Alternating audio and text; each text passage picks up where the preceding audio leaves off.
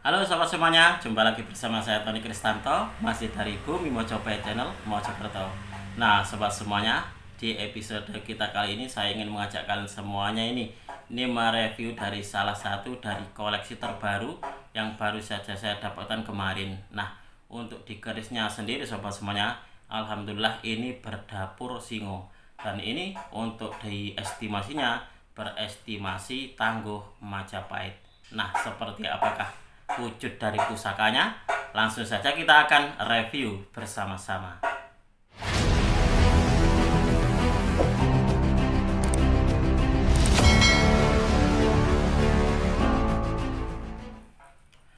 Oh ya sobat semuanya, di sini juga saya ingin uh, mengatakan kepada uh, kalian semuanya bahwasanya untuk saya dalam hal pengambilan gambar sekali lagi saya menggunakan kamera depan. Jadi beberapa dari pe, ini penonton yang baru-baru itu eh, rata-rata e, protes kepada saya bahwasanya Mas kalau e, memegang keris mbok ya jangan tangan kiri tapi menggunakan tangan kanan seperti itu. Jadi saya berkali-kali sudah apa ya e, mengatakan kepada sobat semuanya bahwasanya saya selalu menggunakan kamera depan. Jadi untuk di tampilan gambarnya antara tangan yang kanan akhirnya menjadi sebuah tangan kiri kalau di gambarnya. Jadi saya juga mohon maaf sekali karena ini juga keterbatasan sobat semuanya karena apa? Karena dalam tag video atau pengambilan video itu pun saya lakukan sendiri dan juga untuk di editing pun juga saya lakukan sendiri. Semuanya saya lakukan sendiri. Itu seperti itu. Nah sobat semuanya eh, pernahkah kalian membayangkan atau eh, memiliki sebuah keinginan? Jadi keinginan dalam hal ini adalah memiliki sebuah pusaka. Lalu tiba-tiba kalian itu mendapat mendapatkannya. Nah, saya pun kemarin itu juga seperti itu sobat semuanya. Sebenarnya teman saya itu e, memposting atau mengupload dari sebuah dapur Singo Barong. Saya waktu itu melihatnya, wah ini Singo Barong ini kok bagus banget ya. Sepertinya kok kayaknya tangguhnya ini kayak di tangguh Majapahit. Jadi ciri-ciri dari e, apa keris-keris dengan tangguh Majapahit. Saya nggak berani untuk bertanya sama semuanya. Karena apa? Karena waktu itu saya sudah dalam keadaan apa ya saya baru memahari pusaka-pusaka banyak banget. Jadi sudah wah ini sudah kehabisan ini amunisi. Jadi saya nggak nggak berani. Entah kenapa kok tiap hari itu saya selalu ini uh, kepikiran gitu kepikiran dengan keris tersebut. Makanya kenapa ada istilah bahwasanya gendeng keris itu angel tambahan jadi apa ya menggilai pusaka itu katanya ini uh, susah sekali obatnya waktu itu saya kok apa ini uh, terpikir terus dengan pusaka tersebut. Nah kalau biasanya sobat semuanya hal-hal yang seperti itu biasanya saya selalu saja ada uh, jalan keluarnya untuk bisa mendapatkannya. Lah dilalah pun juga seperti itu. Waktu itu saya sudah gini nggak tahu kenapa tiba-tiba ada transferan masuk di rekening saya gitu. Mas ini sebagai anu uh, ada seorang subscriber juga juga pelanggan gitu memahari pusaka saya akhirnya wah ini mungkin mungkin ini harus di diambil ini untuk apa e, pemaharan pusaka yang singo bareng akhirnya saya tanyakan kepada teman saya apakah keris singo barengnya sudah laku apa belum kang? Katanya oh belum kang itu itu belum laku. Oke lalu saya tanyakan maharnya lalu kita ini e, diskusi masalah maharnya gitu. Akhirnya terus deal gitu akhirnya deal gitu. Akhirnya alhamdulillah waktu itu saya kurang dana. Jadi saya dapat uh, transferan itu masih kurang sama semuanya. Jadi saya terus uh, ini merayu istri saya. Merayu istri saya terus saya ini ya istilahnya pinjam duit gitulah gitu. Di tabungannya. Akhirnya oke. Okay. akhirnya terus berhasil saya menghari sobat semuanya. Jadi kalau di antara sobat semuanya mungkin loh ya ada juga yang punya pengalaman seperti saya. Jadi wah saya kok punya sekali eh apa e, ingin sekali dengan keris tersebut tapi kok pas ini untuk dananya kok kurang. Lalu ah ini ah pinjam tabungan istri. Mungkin ada yang seperti itu berarti kita sama. Sama Oke sobat semuanya coba kita akan e, melihat wujud dari pusakanya. Nah ini sobat semuanya ini adalah kita uh, nikmati dulu untuk diwarangkannya. Kalau untuk warangkannya sendiri ini bergaya dari gayaman Yogyakarta. Begitupun juga dengan uh, dedennya sobat semuanya. Dan kalau kalian amati di sini ini ini tembus ini sobat. Jadi ini kerawangan. Jadi kalau uh, teman-teman di dalam ini tosan aji dalam memaharkan katakanlah memaharkan cuma dedennya ini saja gitu. Tapi kalau dia tembus seperti ini nah kerawangan seperti ini ini biasanya lebih mahal dari yang tidak tembus jadi seperti itu sobat semuanya nah kalau untuk di mendaknya sendiri saya kurang tahu apakah ini perak atau bukan. Kemarin saya uh, lupa untuk menama, uh, menanyakannya gitu.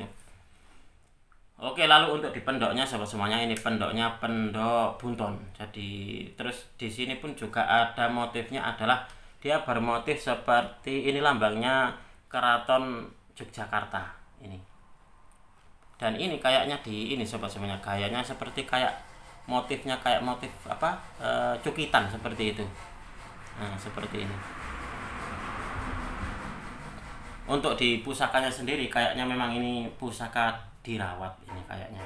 Karena apa? Karena kalau saya melihatnya ini tampilan sudah bersih seperti ini. Jadi saya sudah tidak perlu lagi untuk menserviskannya sobat. Jadi saya dapatkan sudah dalam keadaan bersih seperti ini dan juga sudah dalam keadaan diwarangi dan juga diminyaki. Saya tadi seperti e, membaui minyaknya kayak minyak-minyak kelapa seperti itu. Ini adalah pusakanya. Coba kita akan melihat wujud dari pusakanya seperti apa sobat.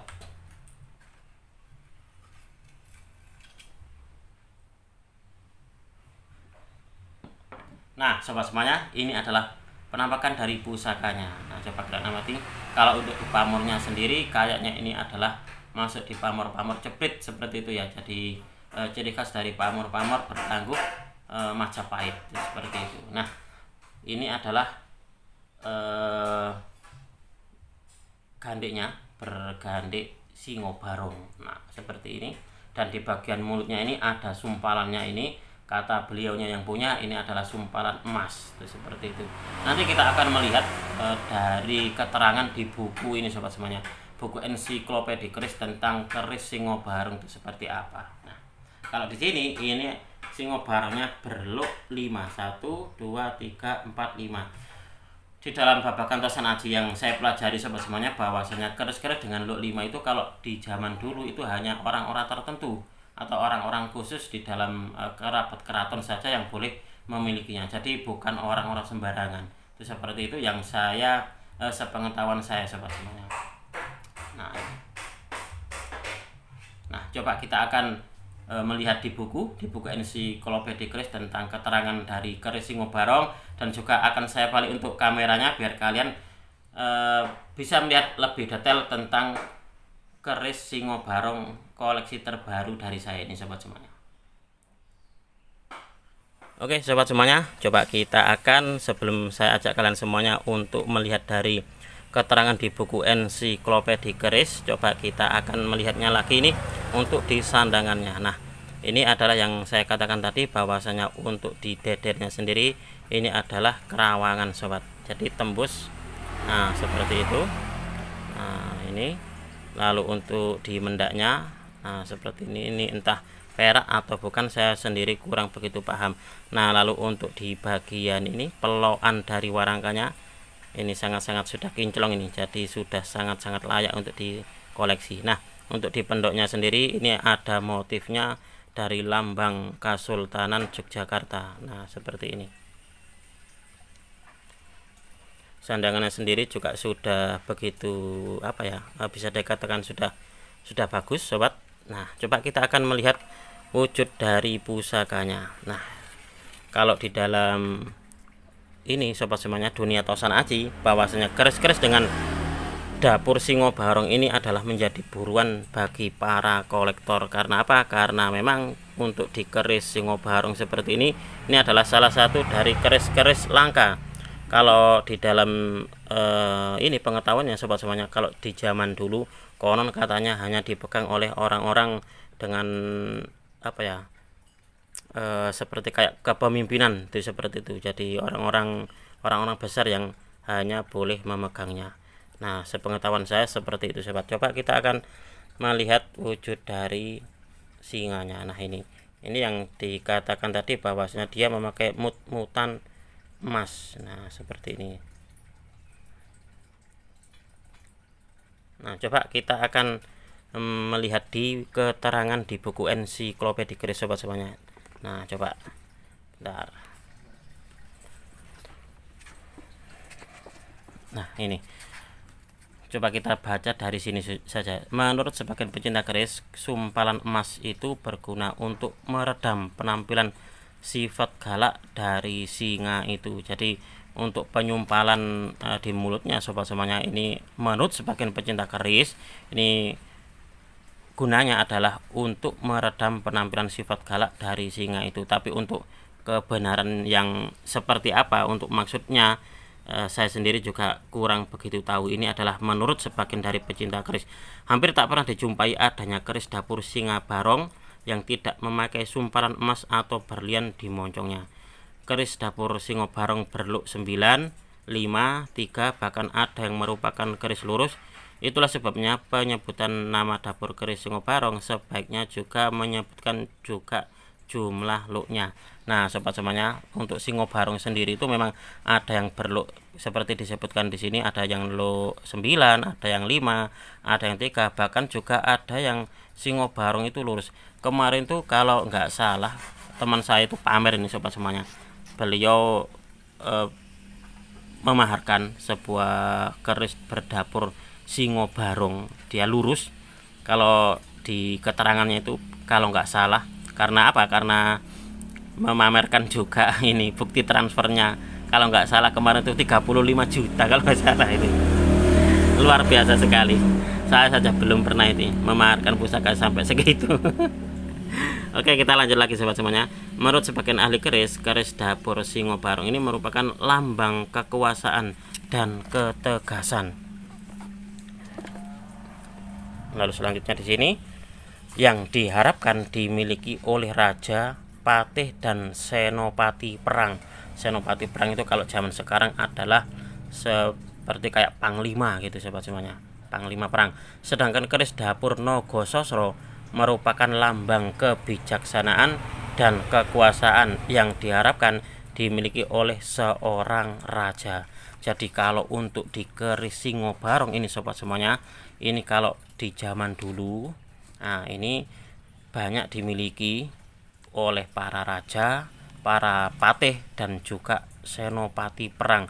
Di semacam apa ya kayak keris-keris kepemimpinan gitu seperti itu. Dan kalau untuk di Nogososro ini lambang kebijaksanaan dan juga kekuasaan yang di zaman dulu pun juga banyak dimiliki oleh para raja atau para pemimpin. Nah seperti itu sobat semuanya. Itu adalah ke, sedikit keterangan dari e, keris dengan dapur singo barong nah coba kita akan mengamati sekali lagi sobat semuanya. Kita akan melihatnya dari mulai sor-soran dan juga sampai di ujungnya tentang atau keris koleksi terbaru dari galeri bumi Mojopahit ini. Nah coba kalian amati kalau kalian melihat di sini ini sangat-sangat luar biasa sekali sobat semuanya. Untuk masalah tangguhnya kemarin tuh ya teman saya bilangnya adalah estimasi tangguh Majapahit. Nah kalau kalian memiliki pandangan lain tentang tangguh dari keris ini silakan sobat semuanya.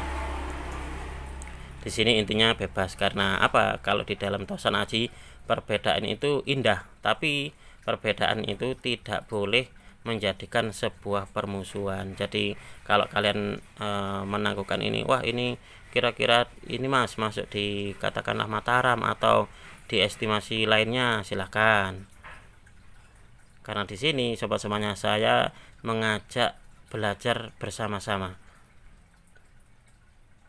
Silahkan kalian bebas berpendapat seperti apa. Nah kalau untuk dibilangnya sendiri memang sudah sudah apa ya bisa dikatakan ada e, ausnya gitu sobat semuanya ya. Nah seperti ini.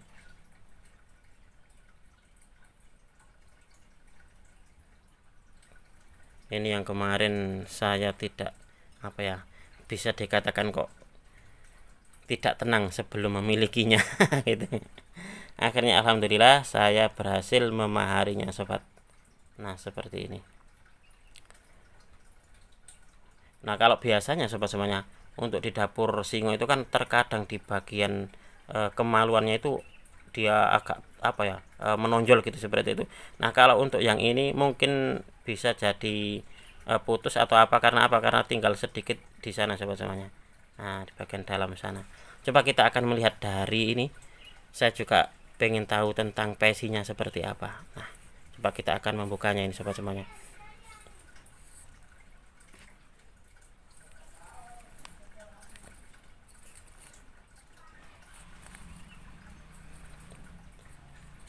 Karena kan kalau teman-teman tosan aji itu terkadang bila saya pun juga gitu kalau wah ini bingung dibilahnya kita harus melihatnya di bagian pesinya seperti apa. Ini kok banyak banget ya untuk ini apa uh, bulatan benangnya. Ini saya dapatkan dari teman saya yang dari daerah Yogyakarta sobat semuanya.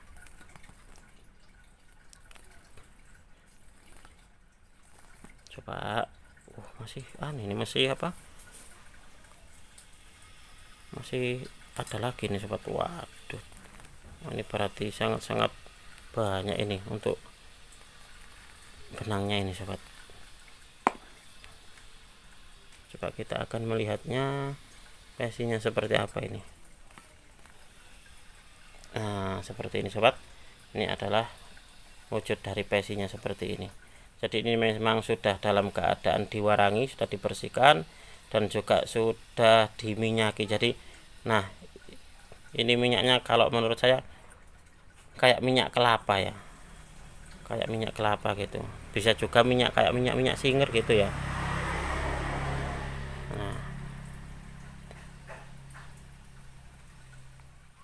Nah. Demikian tadi sobat kita sudah mereview bersama tentang salah satu dari dapur pusaka koleksi terbaru dari Galeri Bumi Mojopahit yang berdapur Singo Barong. Semoga video ini bisa menambah wawasan dan juga pengetahuan kepada kalian semuanya khususnya bagi kalian para pecinta tosan aji pemula. Apabila teman-teman ini ada yang berkenan dengan koleksi terbaru saya tadi yang berdapur Singo Barong silahkan menghubungi nomor WA saya. Apabila ada kesalahan dan juga ada kekurangan dalam saya menyampaikan review tadi, saya memohon maaf yang sebesar-besarnya.